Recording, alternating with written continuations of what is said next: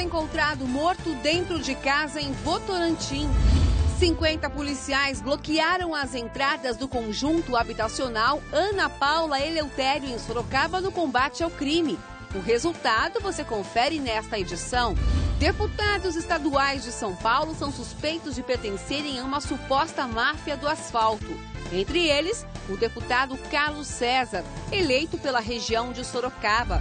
O governo do estado de São Paulo anuncia investimento de 6 milhões de reais para o aeroporto de Jundiaí.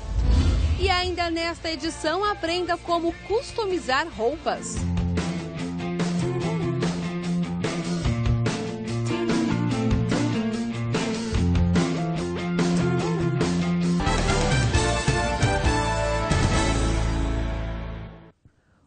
Boa noite. Idoso é encontrado morto na própria casa em Votorantim. A família suspeita que ele tenha sido asfixiado. Veja a reportagem.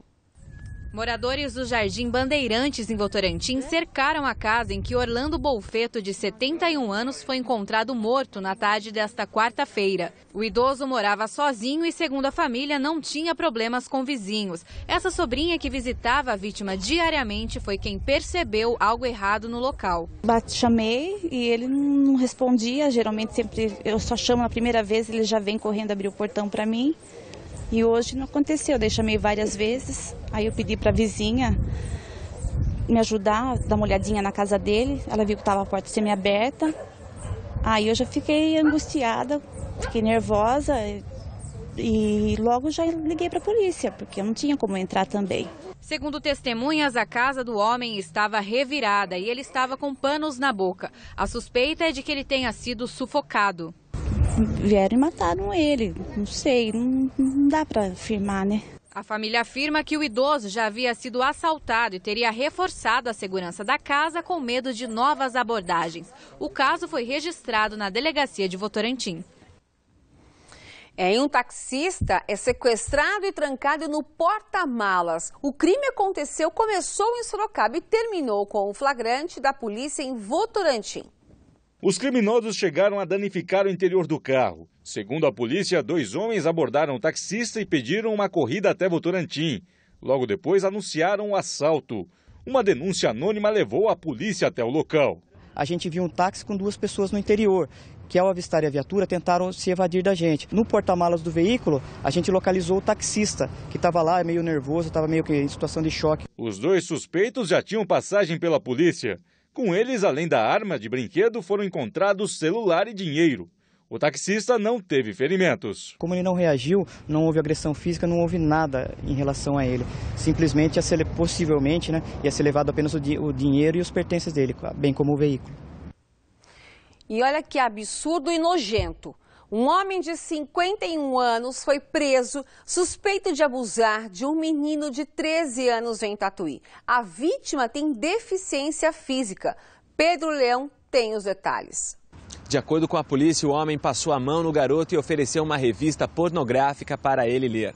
Quando tentou fazer sexo oral com o menino, ele fugiu e chamou os pais. Segundo a polícia, ele tem problemas de locomoção. Agora ele está à disposição da justiça e deve responder por estupro de vulnerável. A Polícia Militar realizou hoje, no conjunto habitacional Ana Paula Eleutério, em Sorocaba, a Operação Saturação para diminuir a criminalidade no local. Aproximadamente 50 policiais da Operação Delegada bloquearam as estradas do conjunto habitacional Ana Paula Eleutério e fizeram patrulhas no bairro. Durante a manhã e o início da tarde, ao menos seis pessoas foram presas por tráfico de drogas e receptação de produtos roubados. Foram apreendidos 288 pinos de cocaína, 2 quilos de maconha, dois carros e um revólver, além de três menores de idade. O balanço parcial foi divulgado pelo capitão da PM em Sorocaba durante coletiva na prefeitura. Segundo ele, a presença da polícia no bairro é por tempo indeterminado e a operação deve se estender pela cidade. Nós vamos atuar em conjunto, realmente, em vários bairros, não somente no Habiteto. Nós já tivemos a atuação da Polícia Militar, juntamente através da, da atividade delegada no bairro João Romão, bairro dos Morros, deu um resultado muito positivo e nós agora vamos alcançar outros bairros, outros bairros mais carentes e que a gente possa transmitir a sensação de segurança. Isso é muito importante. Olha só, 50 quilos de maconha foram encontrados na geladeira de uma casa no bairro Vila Amaral, em São Roque. De acordo com a Polícia Civil, no local também foram encontradas aproximadamente 20 pedras de crack, 10 munições de revólver calibre 38, 6 de pistola calibre 380, uma de fuzil, 9 celulares, além de uma quantia em dinheiro. Ninguém foi preso até agora. Foi divulgado hoje a prisão de um suspeito de ter participado participado do assalto à mão armada em uma chácara no mês passado, no bairro do Carmo, em São Roque, onde 19 pessoas foram feitas reféns. Segundo a Polícia Civil, o suspeito já era procurado por mais outros três roubos em chácaras. Ele era rastreado e chegou a passar alguns dias em Brasília e Tocantins. O suspeito foi encaminhado agora ao CDP de Capela do Alto. E o outro suspeito continua foragido. Um homem de 38 anos que estava foragido é encontrado em Sorocaba. Ele tentou se esconder embaixo de uma cama, mas foi preso pela polícia. O suspeito cumpria a pena de 5 anos, 8 meses por roubo e já tinha passagens por outros cinco crimes. Ele foi levado ao CDP de volta, né? Ao CDP de Sorocaba. O SBT Brasil mostrou nesta terça-feira, com exclusividade, deputados estaduais de São Paulo suspeitos de pertencerem a uma suposta máfia do asfalto. No esquema denunciado, parlamentares receberiam propinas em troca da indicação de obras a uma construtora. E entre os suspeitos está o deputado Carlos César, que foi eleito pela região de Sorocaba. Segundo o Ministério Público, são cinco deputados estaduais envolvidos. O valor repassado a eles em propinas chega a 3 milhões de reais. O suposto esquema, chamado de máfia do asfalto, funcionava assim. Sempre a mesma empreiteira procurava os deputados para conseguir dinheiro para as obras. A verba era liberada para as prefeituras através de emendas parlamentares. Na maioria dos casos, as obras foram feitas em cidades que os deputados não tiveram um voto sequer. O pastor Carlos César, eleito pela região de Sorocaba, é suspeito de ter recebido o valor mais alto em propinas, o equivalente a 150 mil reais. Em nota, o deputado afirmou que não conhece ninguém da empreiteira e jamais recebeu propina. O caso já foi entregue ao Tribunal de Justiça. É, em nota, os deputados Enio Tato, Donizete Braga e Geraldo Vignoli afirmaram que não tem relação com a empreiteira. Geraldo informou que não recebeu propina. Já o deputado João Antônio afirmou que conhece apenas socialmente um dos envolvidos no caso. Agora ninguém conhece ninguém, né? Governo estadual anuncia investimento de 6 milhões de reais no aeroporto de Jundiaí. Aeroporto movimentado voos particulares de helicópteros e aviões de pequeno porte. São pelo menos 250 pousos e decolagens por dia. Por isso, os investimentos no terminal aéreo de Jundiaí não podem parar. O governo de São Paulo anunciou que este ano mais 6 milhões de reais aterrizam por aqui. Serão obras de melhorias na sinalização, em prédios operacionais e ampliação do pátio de aeronaves e do espaço para a locomoção de veículos e aviões dentro do aeroporto. As adequações devem ser finalizadas oito meses depois da emissão da ordem de serviço. De acordo com a Prefeitura de Jundiaí, são investimentos bem-vindos. Já fazia muito tempo que a gente precisava de um investimento maior do governo do Estado para poder dar, melhorar a infraestrutura para que esses, essas aeronaves que aqui se utilizam nas nossas nas instalações de Jundiaí tivessem uma condição melhor. Para este gerente comercial de um dos hangares, as melhorias são necessárias, já que o país receberá grandes eventos nos próximos anos. É, nós temos um 2014 que promete. Nós temos um, um, evento que é a Copa do Mundo, que é um evento que promete bastante a movimentação desse aeroporto. E ele, como falei, é a principal alternativa da aviação geral. E este não é o único anúncio importante para o desenvolvimento do setor aéreo na região. A Secretaria Nacional da Aviação Civil oficializou a concessão do aeroporto de Tatuí, administrado pela Prefeitura desde 1986. O documento foi assinado em Brasília. Na prática, isso significa que o aeroporto vai poder receber investimentos públicos e privados. O objetivo é torná-lo uma alternativa para a manutenção de aeronaves que é realizada em Sorocaba e também em Jundiaí. O Poder Municipal de Tatuí já pediu o repasse de 10 milhões de reais para o terminal aéreo. Agora a notícia interessa aos pais. Atenção, saibam como prevenir uma intoxicação. A nossa entrevistada passou por um susto com a filha ainda pequena, mas felizmente tudo acabou bem. Vamos assistir então a reportagem. O dia não sai da memória da professora. A filha, então com dois anos, ingeriu o produto de limpeza no lugar de refrigerante. Nós fomos passear uma casa de um, de um tio meu e ele morava sozinho. Né? E ao morar sozinho, ele não tinha preocupação com embalagem, com produtos de limpeza. E ela encontrou é, um pouco de água sanitária em um vidro de refrigerante. E por estar no vidro de refrigerante, ela bebeu. Desde então, os produtos que já não ficavam à mostra, agora passaram para o alto. Uma precaução para evitar novos sustos. Criança não tem como a gente ficar o tempo todo próximo, verificando é, o que fazem. Então, toda precaução é importante. Os casos de envenenamento ou intoxicação são graves e acontecem com frequência. No ano passado, só na rede pública, 792 pessoas foram internadas com sintomas. Os dados foram divulgados pela Secretaria Estadual da Saúde. Os hospitais recebem centenas de menores com o problema. Do total de internações, 37% eram crianças de 1 a 14 anos, faixa etária mais suscetível aos incidentes. Em Sorocaba, em 2012, foram registrados 47 casos.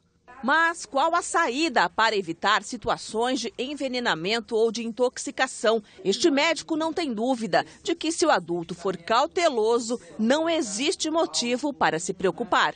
Qualquer medicamento em casa, seja qual for, ele deve ser colocado no local alto, seguro e de preferência trancado. Quando nós estamos falando em relação às outras intoxicações, não apenas com medicações, né, é, como água sanitária, desinfetantes, amaciantes, as áreas de serviço da casa também é um lugar de muito perigo para as crianças. Lembro, nunca colocar qualquer tipo de desinfetante dentro de garrafas PET. Sobre o que fazer na hora do incidente, se provocar vômito ou não, o médico explica que depende do produto e da quantidade ingerida e que cada caso deve ser tratado de maneira diferente pegue esta medicação ou pegue esse produto, guarde, veja o quanto isso foi ingerido, qual horário que foi ingerido. E aí você pode procurar um, um, pronto-socorro, dependendo do estado da criança. Existe também um outro centro, um centro chamado CETOX, de número fácil para todas as pessoas, que pode entrar em contato e que ali também terá informações úteis em relação às intoxicações. É, em relação ao CEATOX, o Centro de Assistência Toxicológica em São Paulo, você pode obter mais informações pelo site. Anote www.ceatox.org.br. Eu vou repetir: ceatox.org.br.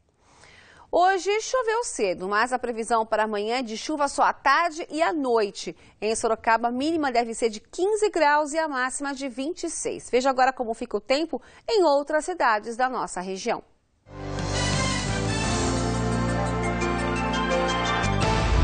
Em Iperó, as temperaturas variam entre 14 e 25 graus. Mesma máxima para Itapetininga, que terá mínima de 15.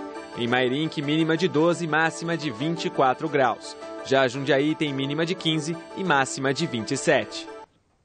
Um morador de Boituva entrou em contato com a gente para falar sobre uma manifestação que estudantes fizeram na Câmara Municipal da cidade. Segundo o telespectador, aproximadamente mil estudantes protestaram contra o cancelamento da ajuda de custo com o transporte escolar. Ainda de acordo com ele, vereadores votaram contra, pois se sentiram pressionados. A manifestação foi pacífica, mas deixa todos os jovens indignados na cidade. Um ônibus e um caminhão bateram agora há pouco na rodovia Antônio Romano Esquim Cariol, em Tietê. Segundo o Corpo de Bombeiros, 19 pessoas tiveram ferimentos, mas todos leves. E na rodovia Castelo Branco, duas pessoas morreram carbonizadas. O acidente foi no quilômetro 100, entre Porto Feliz e Boituva. Uma caminhonete pegou fogo depois de bater em um caminhão. O caminhoneiro nada sofreu. A pista já foi liberada. E na rodovia Castelo Branco, um caminhão com areia tombou hoje pela manhã em Iperó. Duas faixas no sentido capital ficaram bloqueadas. A pista já foi liberada e, de acordo com a polícia rodoviária, não houve feridos. Sabe aquela peça que fica no guarda-roupa que a gente não usa, mas você também não, tem, não quer se desfazer dela? Nós preparamos uma reportagem para aprender como customizar. most likely. Camiseta masculina que virou blusinha, shorts que agora é saia. A ideia de inovar é de uma estudante de moda que achou soluções rápidas e fáceis para reaproveitar as peças. Porque às vezes a gente compra alguma peça que a gente não gosta muito e daí a gente acaba comprando no impulso e daí a peça fica parada. Então, assim, dá vontade de usar as coisas que estavam paradas. Às vezes uma camiseta que eu não gostava muito da manga, achava muito comprida, então eu resolvi começar a mexer nas minhas peças. A customização vale para roupas novas e usadas. Basta olhar e perceber o que há de errado na peça e adaptar ao corpo. Essa camiseta eu comprei porque eu gostei muito da estampa e só tinha modelo masculino. Daí eu acabei comprando, falei, bom, vou comprar o P, que daí não vai ficar tão grande em mim. Mas mesmo assim, ela era muito larga e eu não gostava, muito comprida, a manga também não era legal. Daí eu resolvi cortar e transformar numa regata. Essa peça também, eu comprei ela num brechó, paguei assim um real e era uma bermuda enorme, assim, muito longa. E eu comprei porque eu gostei da estampa, então eu resolvi mexer nela, eu acabei transformando em uma saia. A criatividade deu tão certo que virou até negócio. Teve gente pedindo para comprar e hoje a estudante tem um blog para expor os modelos. Comecei vendendo para as minhas amigas, que foi logo no começo de quando eu criei meu blog. Hoje em dia, como eu tenho bastante leitor assim de fora de Sorocaba ou pessoas de Sorocaba que eu não conheço, eu assim vendo para essas pessoas também, que não são tão próximas, né, que eu não conheço. E dá para todo mundo colocar a mão na massa. São vários acessórios que não precisam nem de costura. Pode ser feito com cola e tesoura. E você já viu que não é difícil customizar as peças. A gente mostra agora como transformar um jeans antigo em um shorts novo. Quem vai mostrar pra gente é a Natália. Ela é dona de uma loja de moda alternativa. Quanto tempo leva essa transformação? É bem fácil, bem rápido, demora no máximo 15 minutos. Vamos lá? Você vai precisar então de um jeans, é, pode ser uma calça ou uma bermuda um pouco mais longa, de tesoura, cola de tecido, um lápis de tecido ou um giz, corrente, os rebites e no caso aqui o diferencial eu vou usar a bandana. Primeiro de tudo você corta os shorts da altura que você achar legal. Aqui no caso eu deixei um pouquinho mais longo que, porque eu não vou deixar ele com a barra desfiada. Vou só fazer a barrinha dobrada. Então, depois de cortar você dobra e deixa do tamanho que você quiser. Daí aqui nesse caso eu vou usar a bandana para fazer um, um detalhe aqui no cos baixo da calça. Você pega a bandana, mede do tamanho que você acha legal, risca com giz e deixa um espacinho um pouquinho maior para a gente poder fazer uma barrinha para ter um acabamento melhor. Depois de fazer toda a barrinha da, da, da bandana, você espera aqui dar um, ver se ficou certinho, se ficou do tamanho que você precisa, e daí você levanta e cola. Daí nessa parte você passa bastante cola, para ela colar bem. O tempo de secagem ao toque é de 20 minutos, mas a secagem total é de 72 horas para você poder usar e depois poder lavar e tal. No final que você colou toda a peça, você finaliza com um prendedor para poder ajudar a colar. Para a colagem, para o tecido não sair do lugar. Faz isso também do outro lado. Daí a segunda parte que você vai fazer, você vai, daí você vai decorar do jeito que você achar mais legal. Você pode usar taxinhas pequenas, médias ou grandes, ou corrente, que você achar que fica mais massa. Aqui nesse caso eu vou usar umas taxinhas bem pequenininhas, daí você vai colocar. Para colocar a taxinha, é só você cravar no tecido, vira do lado avesso, vai ficar aparecendo os ganchinhos, e com a prata tesoura você abaixa os ganchinhos.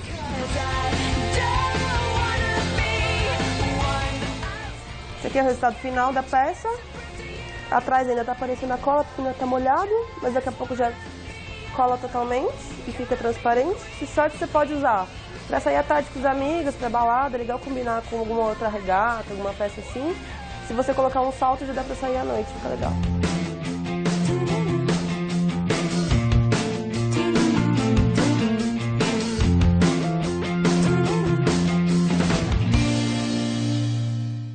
Bacana, né? Agora é escolher a peça e trabalhar.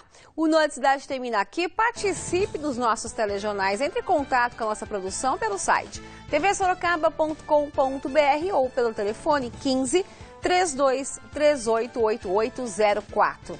Fique agora com a SBT Brasil e amanhã cedinho confira o Noite Cidade Manhã com o Fernando Matos. Tenha uma excelente noite.